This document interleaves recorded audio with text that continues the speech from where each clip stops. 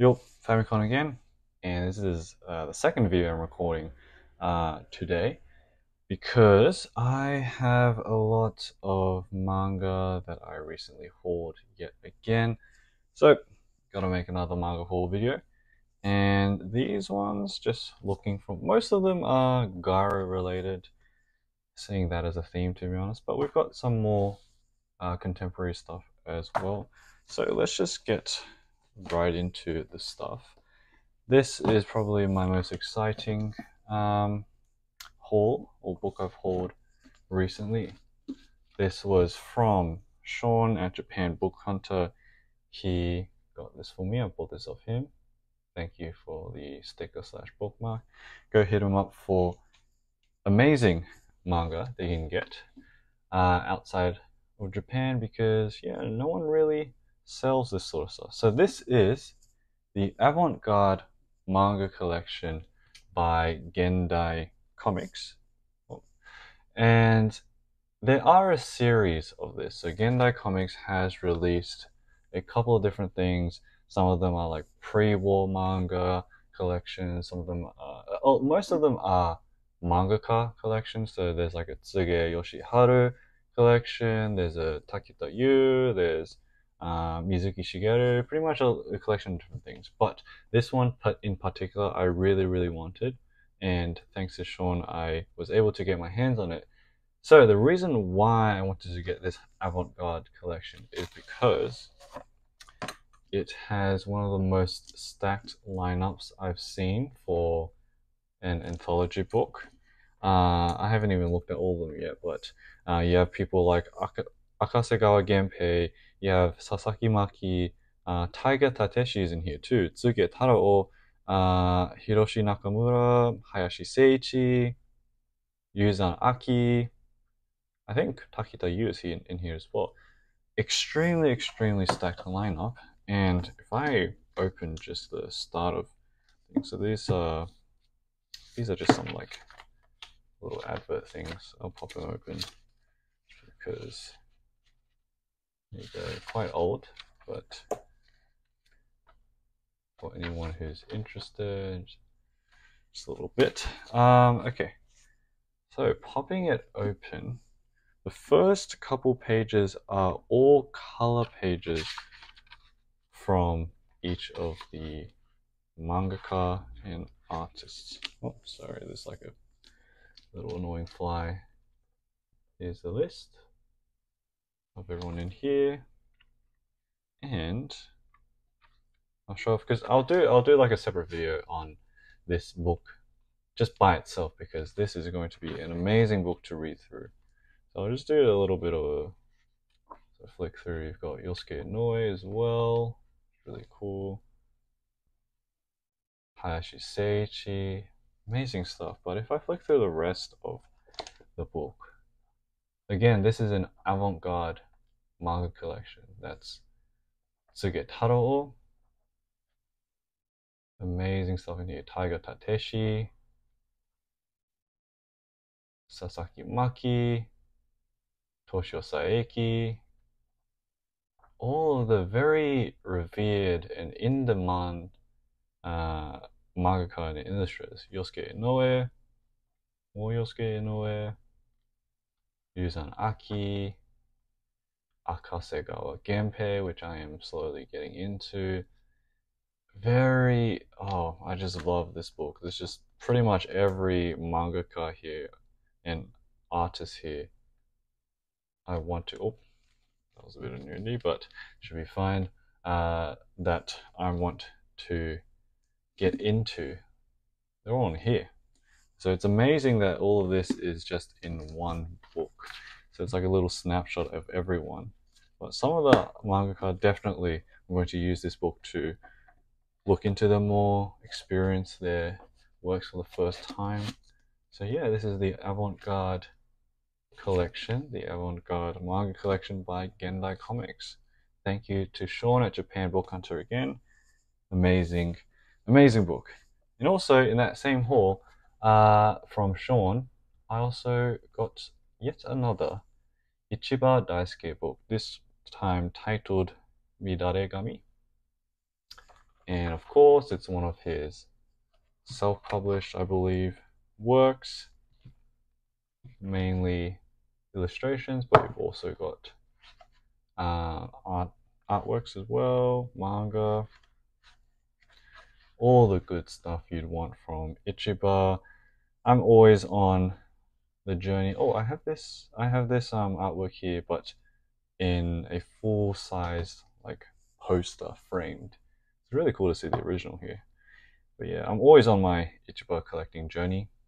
Can't get enough of it. Still, um, surprisingly, with all the Ichiba stuff I own, I'm still missing quite a lot of his uh, his works. The reason why is because early in his career, he did a lot of self-published stuff. So that's where uh, the difficulties have been in terms of finding things. I've, I've pretty much gotten everything from his more recent works, but yeah, his self-published stuff, like 2000s and like before that, they're super hard to find.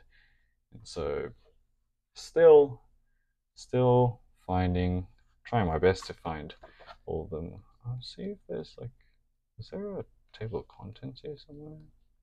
No. So yeah, some of these works they do pop up in his uh, other like uh, art collections, like Buddhism. Some appear in um, yes, I, I I don't I forgot the names off the top of my head, but some of these do appear in other art collection, art book collections that he has.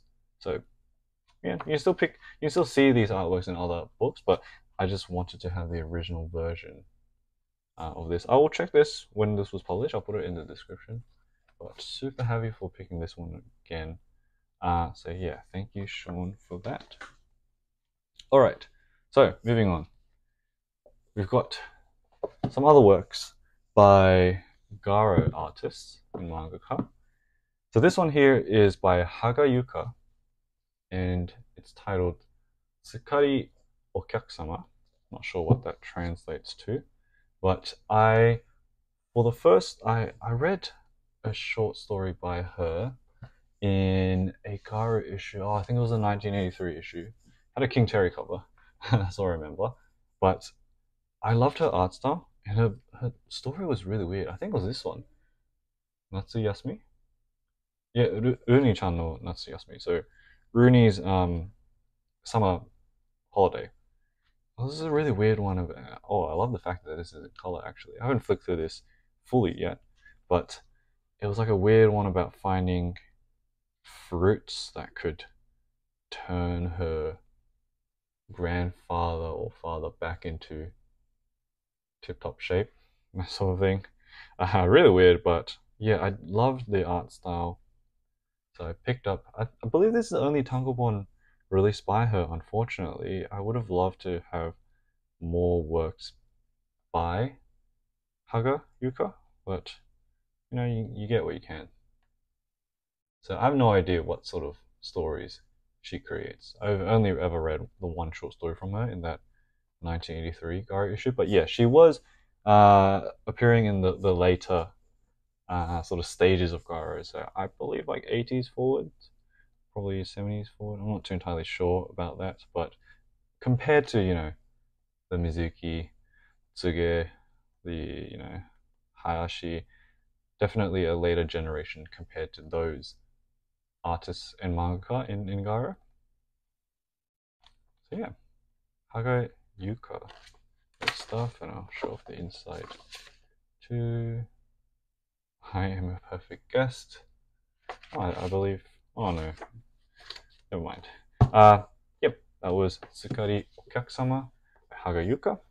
And here we've got another Garo, um, or a manga who published in Garo.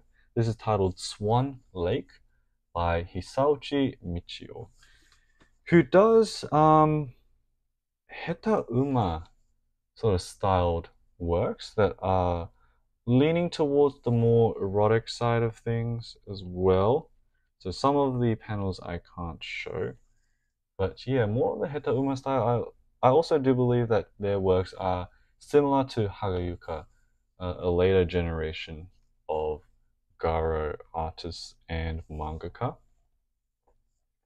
So I do have a couple other I gotta skip over there. There's there's a lot of nudity now. I look about it. I look at it. I didn't realize there was that much. Sorry about that. I'm trying to find something I can show. Uh, I do have other books by Hisauchi, which is like they've released actually a lot of tankobons. So this is not the only one they've released. In contrast to Haga Yuka, they've released quite a bit. So hunting down their stuff is going to be a continuous journey. But yeah, sorry, I'm trying to find something, anything I can show. But yeah, I love the art style. It's not like exactly Heta Uma, it's bordering on it, I guess, just subjectively, in my opinion. But seems like a lot of uh, erotic material on this. So let me just check when this was published, this collection. Mm, does it say here? Nope. Ah. Oh, it's in, um, oh, 1984? Well, I'll check and put in the description. But yeah, this is a list of when all the works themselves were published. And were any of these published in Garo? Oh, none of them were. Got manga, Dynamike, manga. Uh, oh, you SM. Oh, SM Club. I think I know that one. I've heard of it. Oh, I thought these were published in Garo. I'll check. I'm pretty sure Hisauchi Michio was in Garo, but probably this collection of stories weren't in Garo. These are all from the 80s 79, 80, 81. Interesting stuff. Yeah. Hisauchi Michio, love the cover of this one too. And I'll just open the inside to see if there's any. Nope, it's all blank. It's just that. Yeah, so Hisauchi Michio, let's move on to something more recent. Uh, this is Pandora by Hagiwara Rei, and this is an English release by, of course, Glacier Bay Books. So Pandora, the resounding sound of footsteps. Here is the inside of it. Hagiwara Rei, I believe there are more contemporary artists as well, but I haven't read this yet. This is a big book as well, compared to like pull up this Gendai comics. Oh, it's actually kind of similar-ish. Yeah, compared to the Swan Lake book, quite big, quite big, kind of heavy too. But I believe this is all in color. Yeah, there you go. Sort of watercolor style to the book.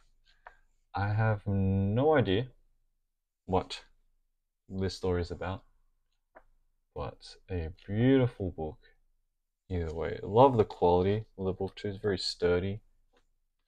The page quality, stock paper they've used is very nice too. Yeah, can't wait to get into this one uh, as well because I do have some other uh, Glacier Bay books pickups, but that can be for another day, another video.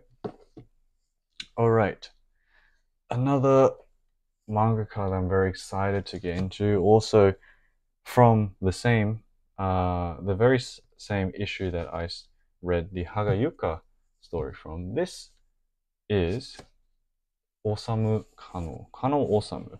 And it's two short story collections, which I can't read the names of them right now, but I'll put them in the description. But Kanno Osamu has been one of my most desired uh, manga at the moment because of that one short story in um, the 1983 Garo issue. That one was called The Landscape with Cows. It, it blew my mind the first time I uh, read that story, so I've been hunting his books down ever since. But he does do Heta Uma style stories as well.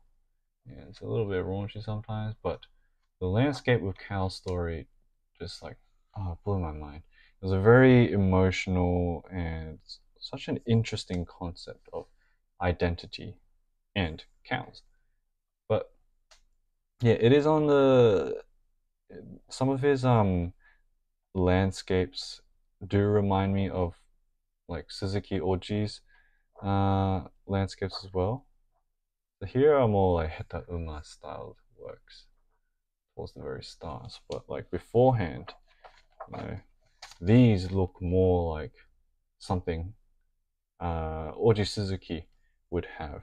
Um, actually, I'll, let me pull that out right now just to showcase the similarities that I'm talking about. But this is, uh, one second. This is the English version of um, Suzuki's Single Match short story collection, published by Drawn & Quarterly. But what I meant by that was just if I were to find just a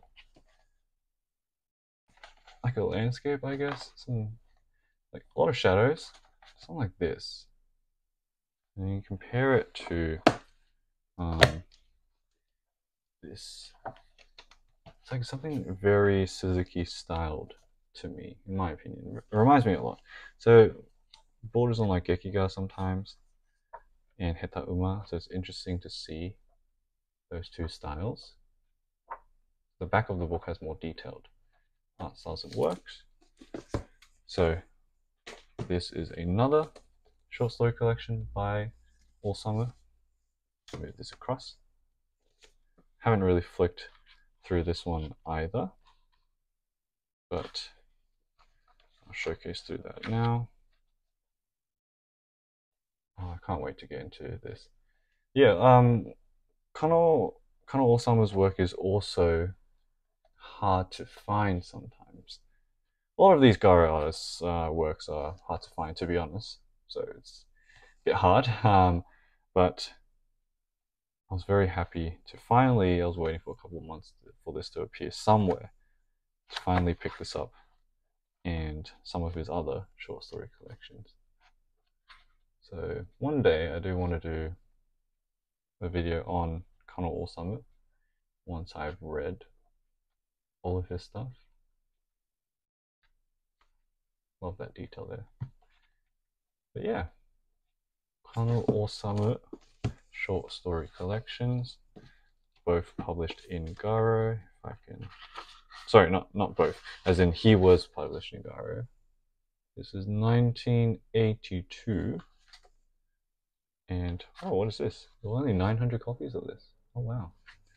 This is copy 211. This one here, when was this published? Mm, no, that's the. Oh, there was only 480 copies of this. That's why they're hard to find. Okay, that's why they're hard to find. Uh, these ones were published. These these stories in this specific collection weren't published in Garo. They were in Comic Baku, Yagyo.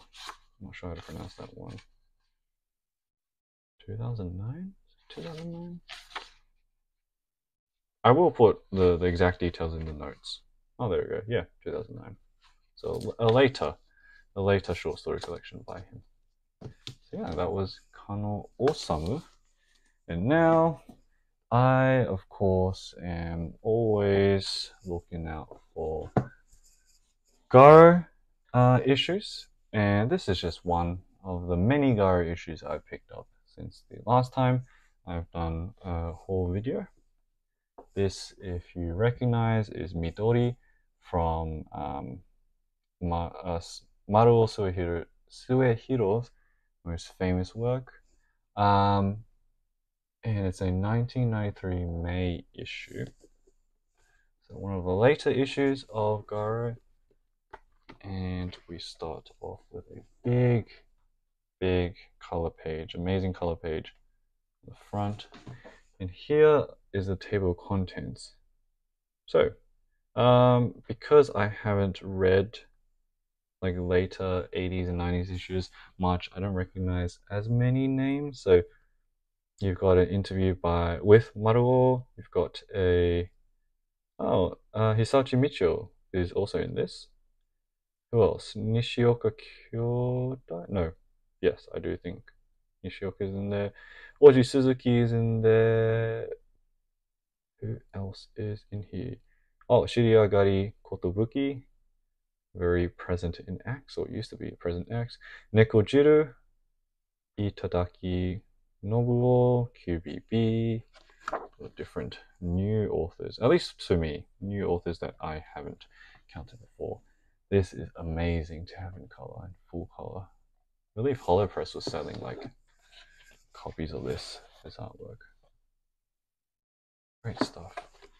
Yeah, this this one is um quite in demand sometimes, like this this specific issue because it has these Maruo um, works, so I can't really show that. But yeah, here's the interview with Maruo.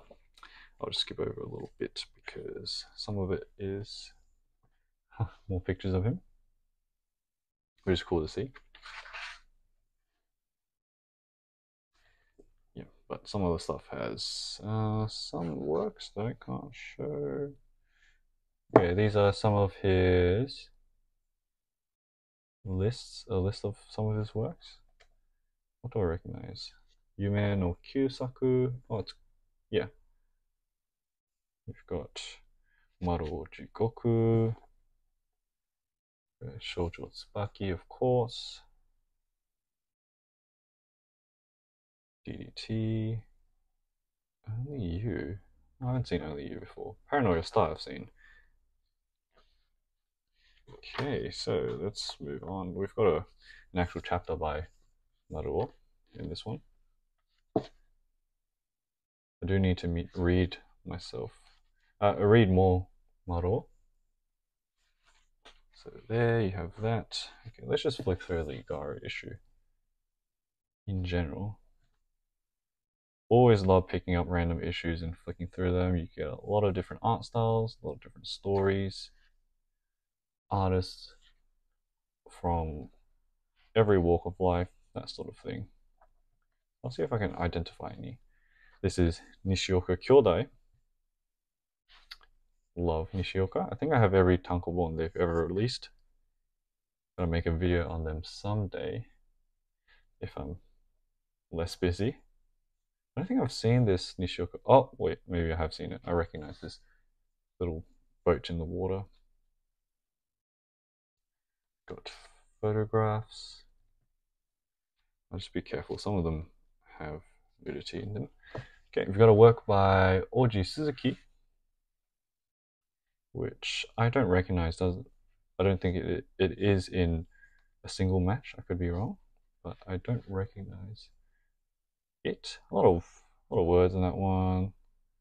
This one I don't I don't know who this is. Oh, it is um what's his name? Mimiyo. Oh no, I uh, I don't know the the name of this manga, but I know they uh, were in the early issues of Axe. I recognize that art style, that character design.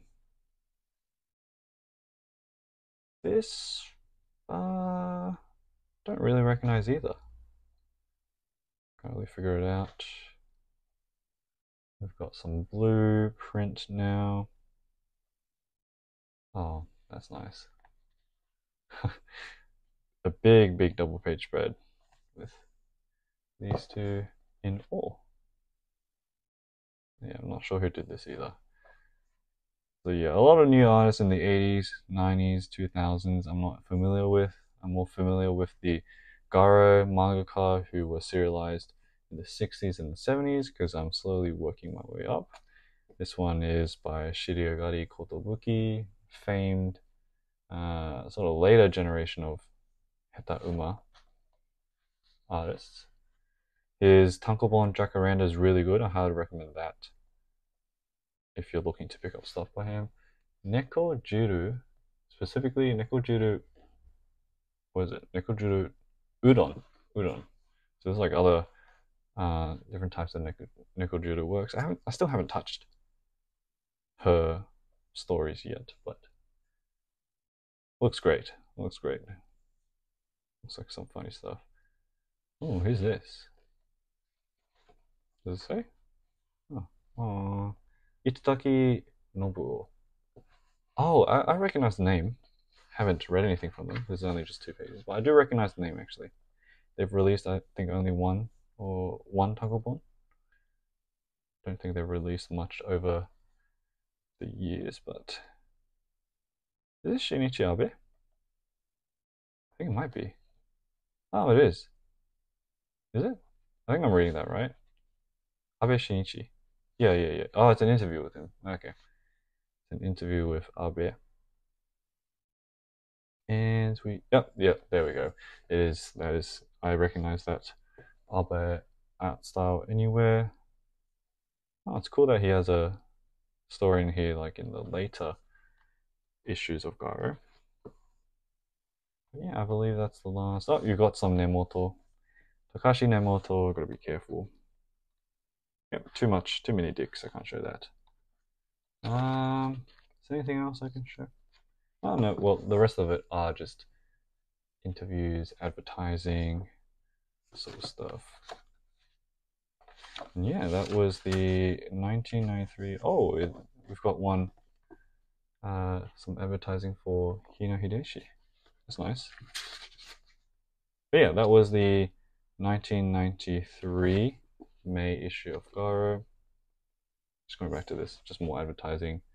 Tsuge Yoshiharu. Uh, oh, is this Hanawa? I think it's Hanawa. This is Nej Nejishiki. Pretty sure this is Hanawa.